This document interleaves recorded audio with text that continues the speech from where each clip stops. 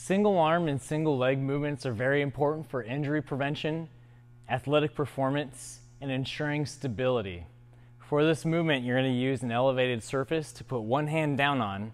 We're then going to go into a single leg RDL, maintaining neutral trunk position. We're going to pull and create a row. For this movement, I'm using a box. I'm going to put one hand down in the box and make sure I hinge to get in that position.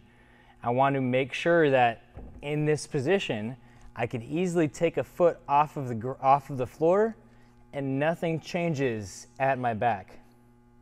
Once I can maintain stability on my down leg, I feel muscles working in the opposite hip.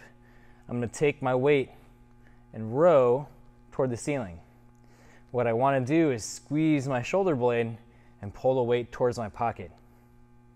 I want to think head to heel, strong as steel. I don't want any of that movement to start to waver. I also don't want to see this leg spinning out like a ballerina or it not maintaining extensions. I don't want to see any saggy hips where I'm just doing the motion here. I want to create tension through the backside of my hip, drive my heel towards the sky as I pull with one arm.